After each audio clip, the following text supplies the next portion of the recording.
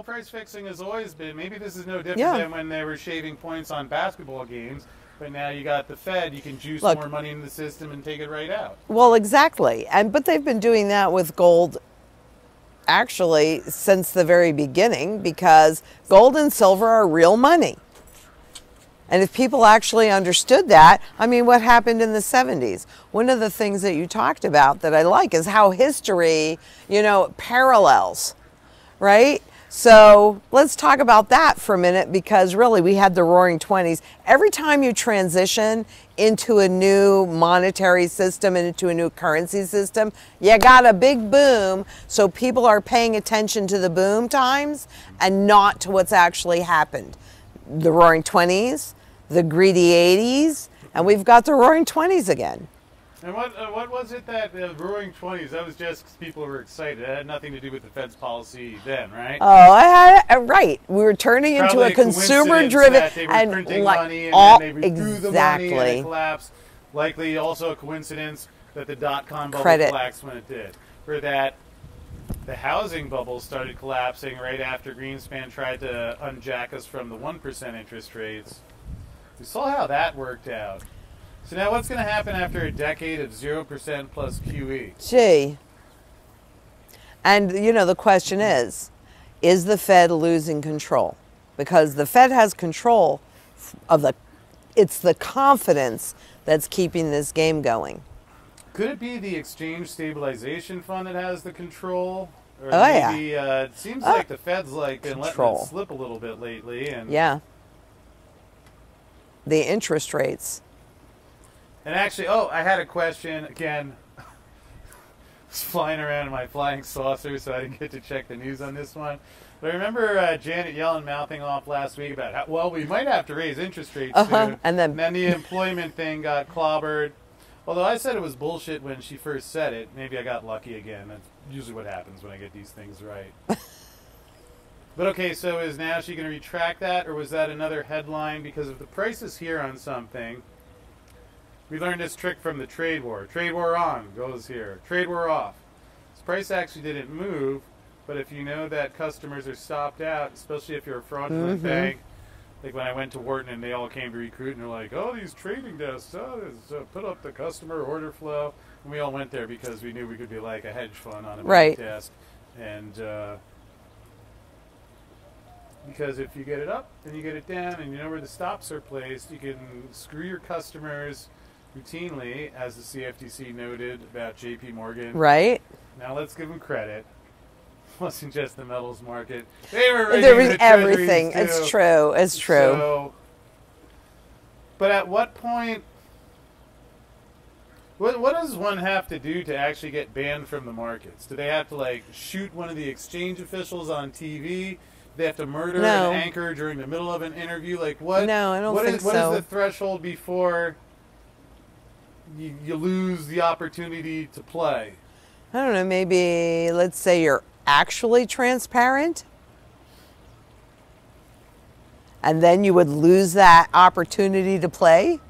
So as long as you keep lying, you can do what Jon Corzine, start a new hedge fund, Exactly. and be rewarded. Exactly. Archegos. Right?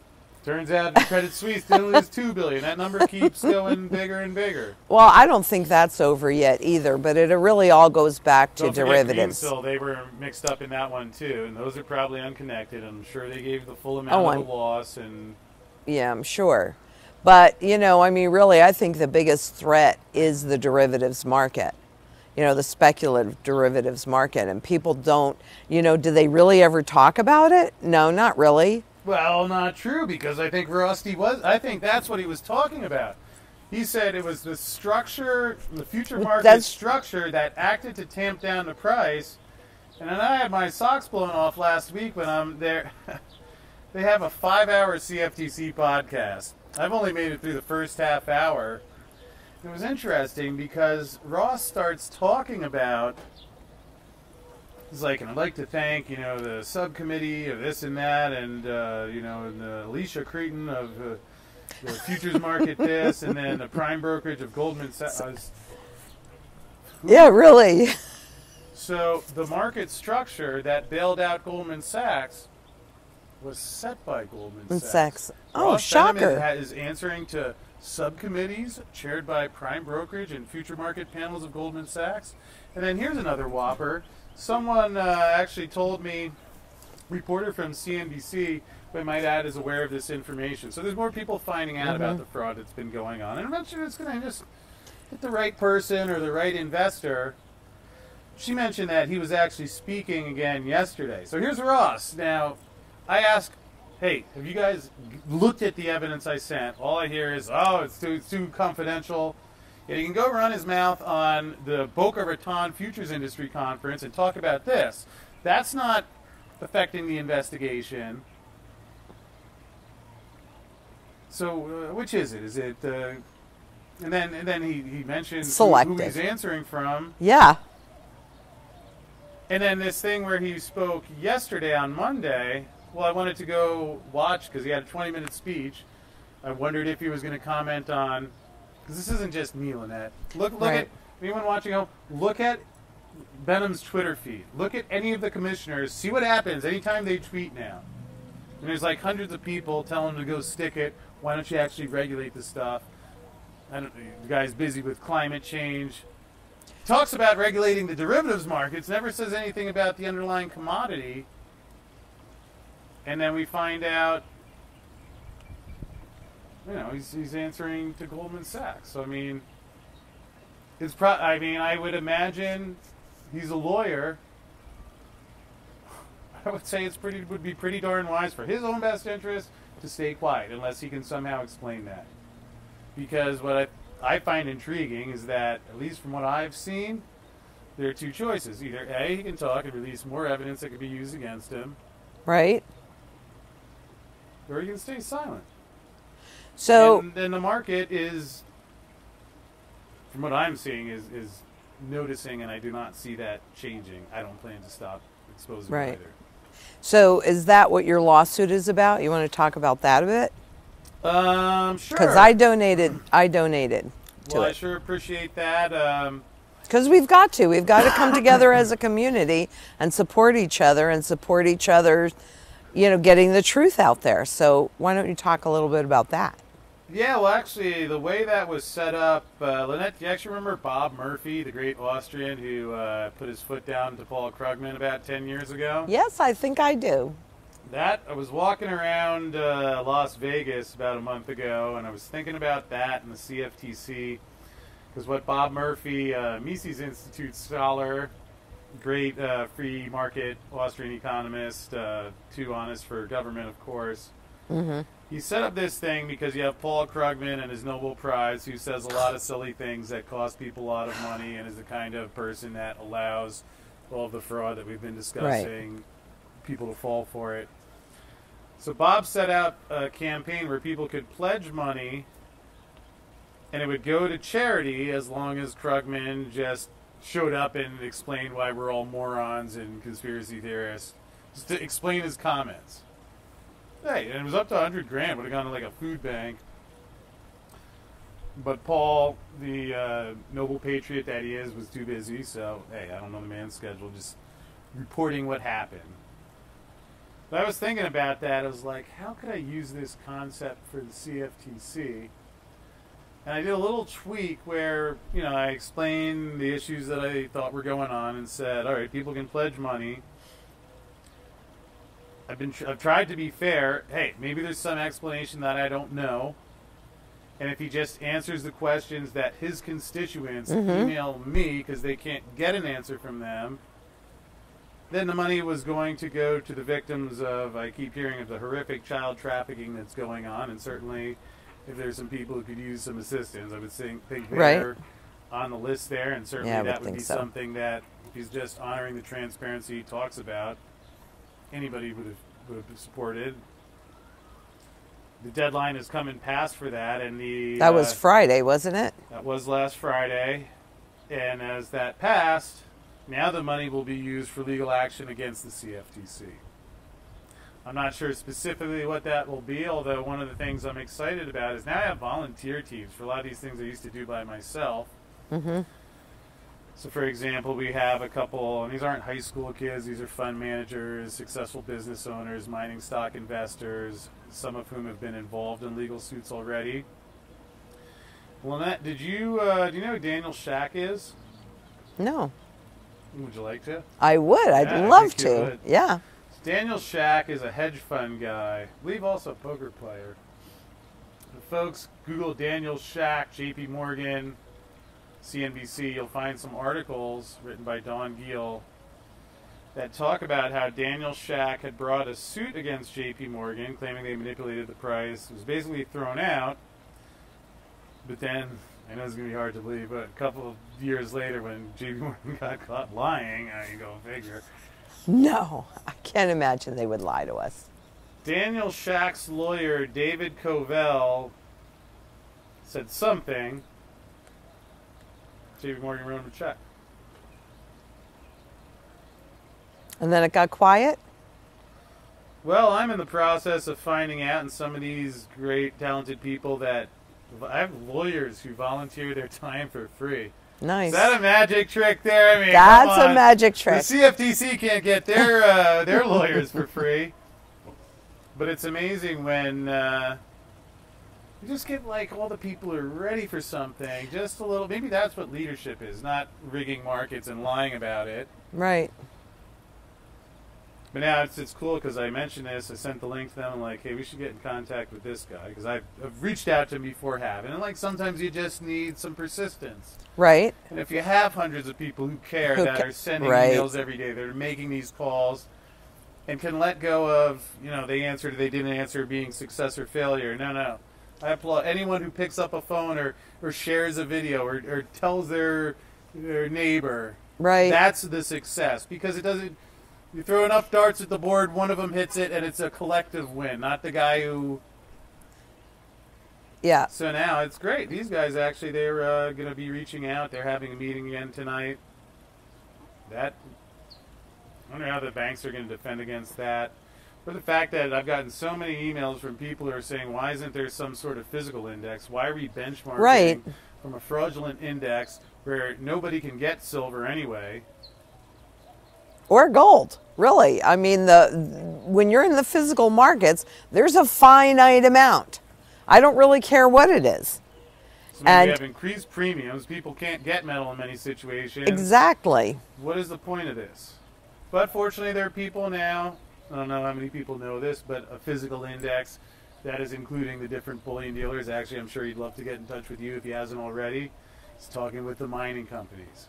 Why are, why are the mining companies getting fleeced with a little shakedown fee to the COMEX? Right. And if you think the COMEX is the only racket, of course it's not. No, In it's fact, not. I got one that's going to make you smile.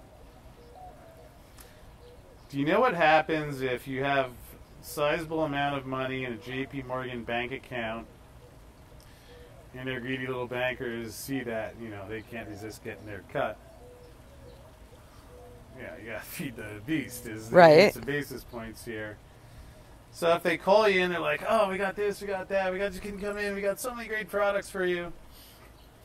So let's say you're in that situation, you finally say, "All right, I'll hear what these bozos have to say," and you walk in and you say, "All right, actually, I'll tell you what, there is something I'm interested in.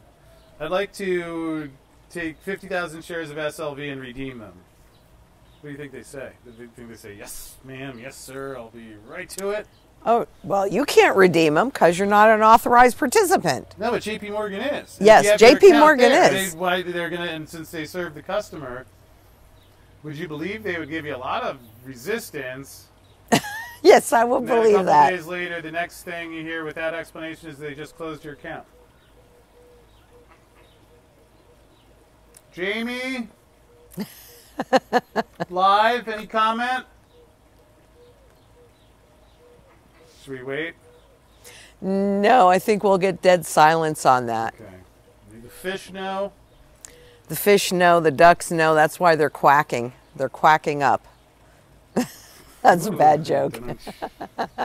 well, I'll tell you who does seem to be knowing. And you seem to get it. I know a lot of people come to you, people who don't like getting stolen from. They Exactly. Like you. I've heard from a lot of people who find it disgusting. Uh, get It is emails when they send it to their congressman and get some. All the different people are sending things different places, and I think the investors. What what what can someone say if they know about this? I've yet to find someone who's heard any even a part of this Mm-hmm. and says, "Oh, let me get some SLV." Isn't that amazing? I mean, I've been talking about SLV and GLD since it came out because it's just designed to mimic the manipulated spot. And you're right. There's no way you you cannot get your hands on the physical underline. They may not have it. They say they have it, but like you were talking about earlier, the auditing. Where's the auditing of this? I mean, you can see the fees coming out. They'll show you that. You know, last time anyone besides J.P. Morgan's put their name to the SLV trust. No. But I told you. Well, that was. Well, go ahead. Go ahead. Because that was what I was able. I was able to get an inspection letter, not the audit. It's funny. The, the third time I called, I'm saying I'm looking for the audit. They're like, "Oh, I think there's some. There's like a paragraph on the 10K here." Mentions like something about Price Waterhouse Coopers and an audit committee. They're like, "Is that what you're looking for?" Like, no, I was actually looking for the audit. They they didn't even know what an audit is. Jeez. And if they don't even know what an audit is or can't find it, does that mean that when they sold 118 million shares over three days, I'm guessing nobody else asked for I'm it? pretty sure that's true. Because people just it's it's all about perception management. If they can manage how you perceive things, then you move in the direction that they want you to move in. But you know, I mean, I've watched your work. We're sitting here talking, but I have to ask you a personal question. Please, please. Okay? Why do you do what you do?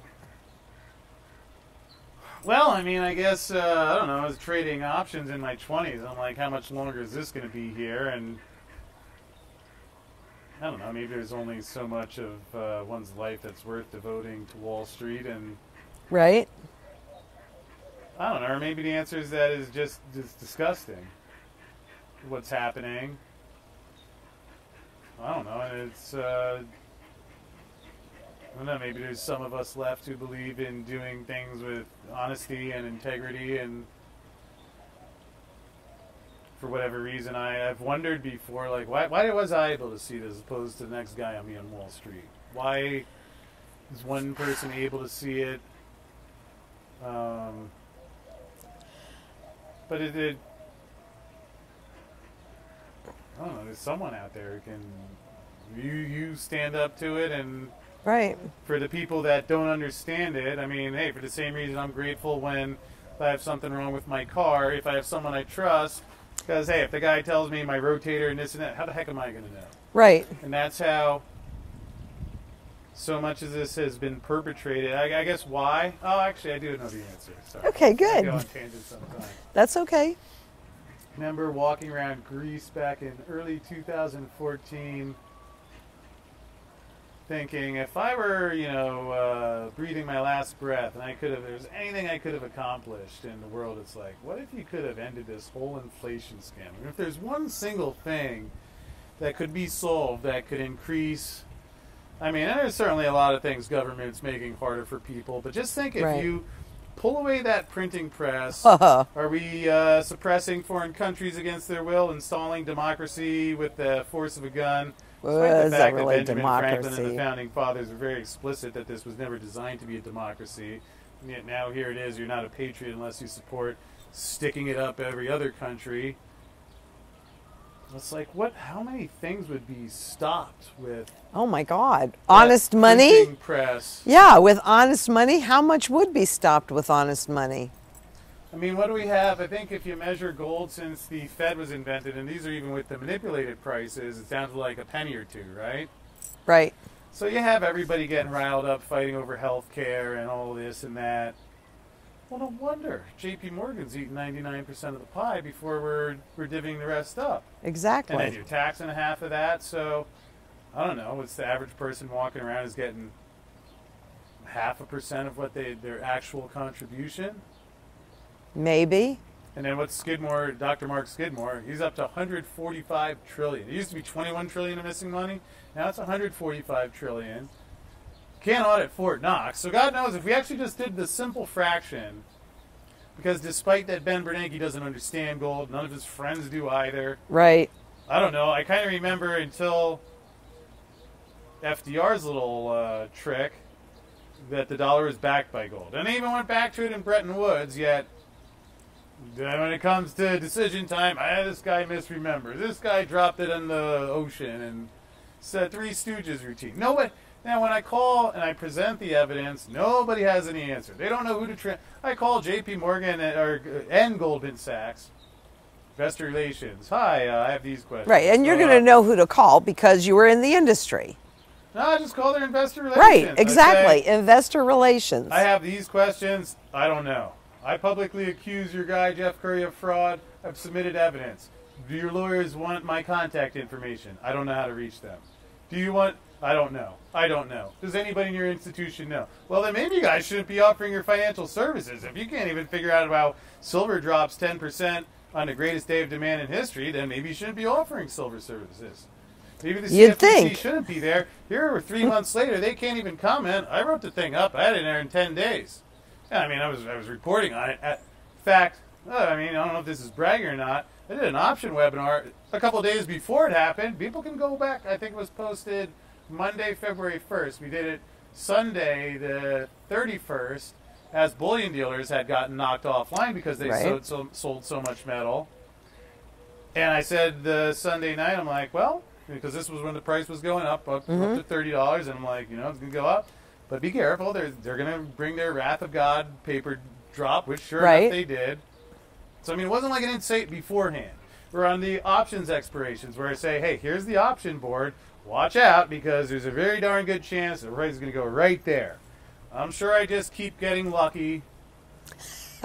yeah, I'm sure. Sure, just uh, It, just just luck with I- a lot of experience to back it up. yeah. Although here's what I can't figure out. What? They had to lie about the data. They said it was record setting. You were Right. the orders. Right? On the 28th, before this historic three day period, I think the price uh, got above 26.50. Man, I made 25 or 27. But it was like, I think it was above 26.50. Then by February 2nd, at the end of this, historic buying that Ross Behnam and the CFTC were afraid of, the banks were afraid of. They had to send Jeff Currie out to lie about. So after the greatest spree in history of silver buying, by the second, the price was actually lower, Lower. than 26.50. So if that doesn't raise the price of silver, what it what what what does Well- it take? Or else, eh, all right, I should, at least tell me. So I'll just sell call options at what the 28 strike. I'll make a fortune because apparently there's nothing in this market because and we know because Ross Behnam confirmed that he communicates with Goldman Sachs who helps him build a market structure that can tamp it down so that it doesn't blow up the, the fractional reserve Ponzi scheme Ponzi scheme system doesn't blow up when people realize that. Although the last part is just I think it's special that this scheme is on solid ground for the rest of time as long as nobody ever talks about silver on social media ever again, which probably would have been easier if you hadn't just acknowledged and told all the people who are disgusted by what's happening that it was actually working, and you had to lie to cover it up, and you had to rig the data to cover it up. But I mean, you know, I'm sure that's But a solid system. you know what happens to people and number and and also you guys should know the links to the interview you're referring to and the letter that you wrote are below or and also on our blog. So you definitely want to go see this. And Lynette, may I add that your lawyer might really want to see this too. Absolutely. Yeah. But you know, this is part of what gets people so frustrated. I get the question all the time. I'm sure you get the question all the time. Well, if they can do this forever, or can they do this forever, or will they do this forever? Now, I know what my answer is. What's your answer? I don't know. It depends. What are you, what are you going to do about it? Well, I I think uh, at some point when confidence is gone, because that's really what it is. If people believe Wall Street's tape, then they get discouraged. They'll go to other intangible assets that they're making go up, right? And they'll leave silver alone, they'll leave gold alone, and which is exactly what they want. Except that the level of confidence in these institutions, which people want to call traditional, they're not that traditional. They haven't been around that long. You know, gold and silver, traditional, they've been around for thousands of years as money. But at some point, when the confidence is gone, they're going to have to pull it out. And they're going to say, but look, see, it's backed by this. And you know, that just reminded me of something. You know, my alma mater was Shearson. And when I first went to Shearson in the 80s, right? So all the globalization, all this stuff is happening. I'm watching it. Those were the days they were coming up with. That was the advent of the uh, securitization in the mortgage industry. Oh my God! Uh, I'm so glad. And you could talk to the head of the trading desks. Then I could call up the head of any trading desk and have a direct conversation. Did were you ever in touch with the Liars Poker guys like Gutfreund and Meriwether? Uh, No, mostly um, arbitrage desk and and definitely the currency desk. Um, but I remember when I first got there, they just kept pumping you in the training with the reason why people are doing business with you is because of Shearson. It's Shearson, it's Shearson, it's Shearson. Then things didn't work the way they wanted them to, or they said they were going to work actually. And so their scheme blew up and got a lot of bad press, and they were on the horn going, People are doing business with you, with you. Call your clients, call your clients. It's all about you, right? So that kind of makes you wonder about what the truth is, and it really is all about the individuals. And when you ask the question, why could I see it? Why could you see it? And the guy next to you couldn't see it, they didn't want to see it because it was, you know, it was too lucrative for them to not see it. Mm-hmm. And it takes a certain personality and a certain temperament. You know, I mean, it really does take a sociopath to be at the levels where they know that they are having a negative impact on a lot of people and they just don't care. Yes. And I think that's a key part of it because a lot of people are trying to understand this through a rational lens. You're dealing And with you people can't. who aren't, as you remember, it's uh, my guess. I, I'll bet. I'd say I think it's even possible. All the stuff I've written or pointed out. If you told me these guys don't have the first clue who I am, and that all they're thinking is like, all right, as long as we get our next bonus, blows up the next guy's watch, I would have to guess that's Right. what's happening. Although when I said my smart ass, well, it depends what, what are you gonna do about it. I wasn't saying that. What are you gonna do about it? Like, hey, we're all fucked. Which I know is the impression. That's not an accident that people are left feeling that way. Exactly. I said in the sense that asking anybody watching, what do you want to do about it?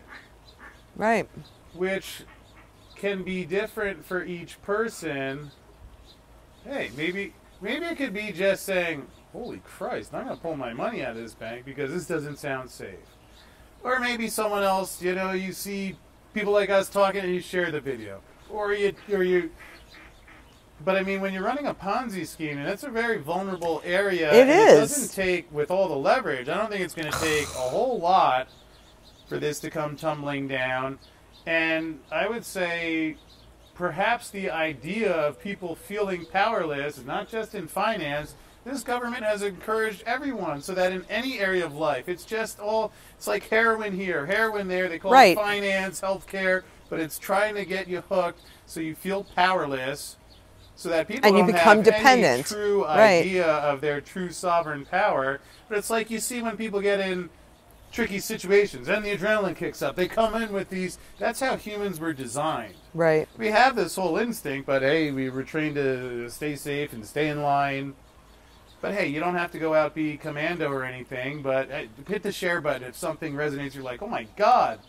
Or if you see that, you know, I don't know, if you read the the file that that, that I wrote to Behnam and you're like, Yeah. How come this guy is taking Exactly. our tax money? I think their budget they requested 304 million in 2020. Well, it's, it gets expensive to manipulate, and the more you manipulate, the more you have to manipulate, and so it just keeps getting more and more expensive. And of and- course, the dollar buys less and less. Yeah, and plus the today's news. This was a whopper. Their whistleblower program now is on the verge of bankruptcy. You're not going to believe this. Oh no, you didn't get paid out. For the guy, I guess there was a because they, they're worried they might have to pay a former Deutsche Bank executive so much because he reported LIBOR. Oh, my God. And they do it on a percentage, and they're like, "Whoa, we might have to pay this guy a hundred million. For a guy whose bank was part of it." But here's what I don't get: they're saying that the way it's set up is that when there's a crime, a certain percentage of that goes to the award. They're like, if we pay this guy's money, then we won't be having money left. I'm like, wait, if you have, Wait. here's the fine, you took Right. X percent. Are they How running a pon? Is the CFTC running a Ponzi scheme with even their whistleblower program? No, I can't imagine that. We're the government, and we're here to help. So when people, what what are they going to do? I mean, I don't know. I guess it's up to each person. I certainly don't advocate anything other than uh, peaceful Peace- or right. within the laws. Please don't hurt anyone physically. But gee, if you have a financial advisor, if you have anyone, show them, ask them, call, Ask them the Morgan. questions. Ask them for questions. Right. There's a growing amount of attention. Or if you see a meme that's funny. So, Lynette, sociopaths do not have a response to human emotion, or Right. especially when they're being humiliated. I think it's pretty funny because I think what's going to take this down is people making videos of Jamie Dimon being the bad guy in the Matrix, stuff like that, where they're being humiliated right now. They're being humiliated publicly, and they can't say anything. Their choice is to give out more evidence that can be used against them, or keep their mouth shut like they've done so far. And hey, all right, you know, you saw that metal allegedly going to SLV. It's been coming right out and goes into PSLV. And there's going to be someday, I don't. It could be the next share, maybe the next, maybe they're one ounce away. Exactly. I don't know if it had thing jumped while we were talking, or you know, hey, I'm, I'm sure for the people who are saying like, hey, I'm tired of waiting, you know, I, I you're, know. you're looking at the devil's final death. Look at all the things. So I mean, it's going to fight to the death to maintain its power. And it's going to get more and more aggressive as it gets closer and closer to the end. Desperate governments, des- des- desperate agencies do desperate things. And that's really what's happening. But they don't do it forever. They do it longer than you could possibly imagine. They can get away because they have the power of pushing a button and creating an unlimited amount of fiat money. You can't do that with silver. You can't do that with gold. But they can't do it forever. And they are really close. We were talking about this. I too agree with you that I think we are very close to the end of this whole big Ponzi scheme. And you need to be as independent and self-sufficient as possible. You, you know, you're here on the farm. We haven't really done the tour of the farm yet, but you know, I I could live quite comfortably here, presuming there there's not a lot of nasty stuff going on out there. But I don't have to worry about food, water, energy security, barterability, wealth preservation, shelter, or community. And the whole, and my personal, we were talking a little bit about this too. Um, a year ago in March, when the whole pandemic thing hit, The low inflation pandemic. yeah, the low inflation pandemic. Yeah, when that hit, you know, I realized, yeah, I, I'm more conservative than you are, but uh, probably so. I'm older than you are too, though. But that's when I Really realized, hit your 30s, Lynette. That's when the body starts slowing down a little bit, as I found out. yeah, the body does, but the brain never does. The brain never does. Well, if you join the CFTC or Goldman, let's not rule it out. But I'll Well, that's stop or if you eat a lot of McDonald's, if you eat a lot of garbage that intentionally you take a lot of the drugs that they're telling you to take, that yeah, it does slow your brain. It does fog your thinking, and therefore you can't really respond. duck? He's like, "Kid, you better not. See? saying you better not have put any SLV shares in my account. I did not. I promise I did not. I just give you good, wholesome food. And silver, So- it's and silver. They Well, love it. colloidal silver is really it's a very high antibacterial. So yeah, it's good for you. But physical gold and silver in your possession too enables you to take advantage. Sha. wow, they're never quite this noisy. But they're not used to sitting out. They want you to get in the They want pond. silver. They want you to get in the pond. way. But what what having that does is it enables you to have freedom. And that's really what people I think need to look at. If you don't have something that is completely outside of the system, when this whole house of cards fall, you are going to lose your freedom because desperate governments do desperate things. Yeah. that duck. I mean, it's it really is that simple. So I'm going to encourage you to, well, do you? Ha- I'd like you to say anything that you want that we didn't cover today. What would you like the people? What would you like to leave them with the message? Because there's opportunities in here as well, even with all the manipulation. Oh, absolutely. In fact, I would say, you know, this idea that we have, you know, people are like, well, if we have a hundred dollars silver, is that a world you want to live in? Give me a break. I mean, we had fifty dollars silver in 2011. Nobody even knew about it. Gold crossed two thousand dollars last year, and people were just worried about their Tesla shares. Here's another one. How do I think this is going to end? Yeah. I mean, they're already talking about the cash settle, which is the way these contracts are actually worded. So you can have the banks write you, all the COMEX holders, a $25 check. In fact, the higher the reset number, if you made gold 280,000, silver 35,000, you're, the higher the number, the more debt you wipe out. And Right. banks are cash settling, there's no banks insolvency. They're only paying out the open loss. And if they have any silver, they actually make a profit. So I think we're headed somewhere along those lines. Although in the end, the idea do we is do we have to be like every that happened? You could have society carry on. Nobody would even know, except all the silver bugs. We would have been on some island. We were out partying. They wouldn't have to hear from us again. You could have everything roll on just the same. So the idea that you know this is the end of the world coming up. I mean that's kind of Well, I don't like think it's the end of the world. told people, well, without the mafia to take uh, shake you down for half of your stuff or more. So, like you said, there's plenty of opportunity, and you know, I know there's a lot of people that with the current economy aren't in the easiest. You know, if people are looking for jobs, but a lot of these mining. If you're listening to this and you find this interesting, and you're you're looking for something to do, mining companies they're making a lot of money right now there's tons of businesses in the metal space that are doing really well. There's, as someone like I, it took me a long while to get the entrepreneurial thing down. Now that I've made through that part, I have more projects that I have people to help right. with, Right. and I find. Especially, it's interesting with the way the unemployment and skewing the labor force. Went to Las Vegas. Well, the cab drivers, they're home because they're making more. There's a lot of businesses that are having a hard time finding Hiring. labor. Mhm. And if you're if, if this is something that's interesting to you and you, you believe it makes sense, you're running, you know, I don't know, maybe this is, you know, you want to find a job within the gold and silver industry.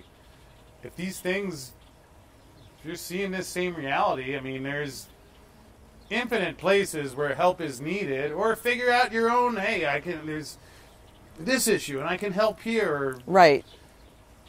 or maybe it doesn't have to be involved in a working or, or- but whether you're investing or just I would say that anybody who's getting this has an incredible informational advantage Oh, and Absolutely. waiting for the government to tell you do this, do that for anyone who's ready to move past that I mean there, there's plenty to be done. If someone really is is struggling financially but enjoys this and needs help, you can actually even email us at the, the big silver short at arcadiaeconomics.com. I've helped several people who are interested in this, trying to do things. There's never been a better time to get involved in some manner because you can sit there and I know I mean hey we've all been guilty of you know sitting there and being upset about the stuff that happens but where you can do something about it, right? I mean, that's what for me. That's what this is. This is about. You know, my favorite question is, how many times can you be lied to when you do not know the truth? a lot And so this is about knowing the truth so that you get to make educated choices that actually support your best interest. What a concept. And I think another uh, thing I wish uh, maybe I could help offer is that just the way we're trained to think of things, to be afraid to try, or that, you know, maybe you don't get something on the first time. Huh. What if uh, Paul Revere and George Washington, at least if that story was actually how it went down, which who knows at this point, but I mean, I don't know. I'm sure the British didn't say, hey, uh, just press this button and we'll go away. Any situation is like that before Right. it's solved. So, yeah, I mean, it's like, of course, well, the bankers tell you, oh, you can never beat us, we're all. Well, if everyone sits there and says, no, if you had said, oh, it's too hard, I'll go do something else. If I Right. had said that, if Bill Murphy, if Chris Powell, all the guys, if everybody had said that, yeah, then it won't end. Right. But now we have what is Wall Street Silver is up to seventy thousand people. I'm making videos. You're making videos. There's other. There's a lot of That's people, what right? will end it. Exactly. Exactly. Well, I guess that's a good note to end on. I'm so glad Chris Marcus, Arcadia Economics, um, really support this man's fight with the CFTC. Go watch those videos. It'll blow your mind. Listen to those interviews. It'll blow your mind. I mean, hiding in plain sight. So thank you for joining us today. I hope you've enjoyed the very noisy ducks and the babies. Oh, oh. So you got that on film, you know.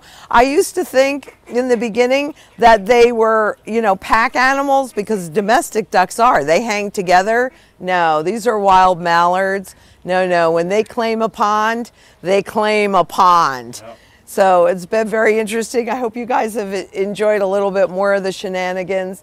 And until tomorrow, please be safe out there. Bye bye.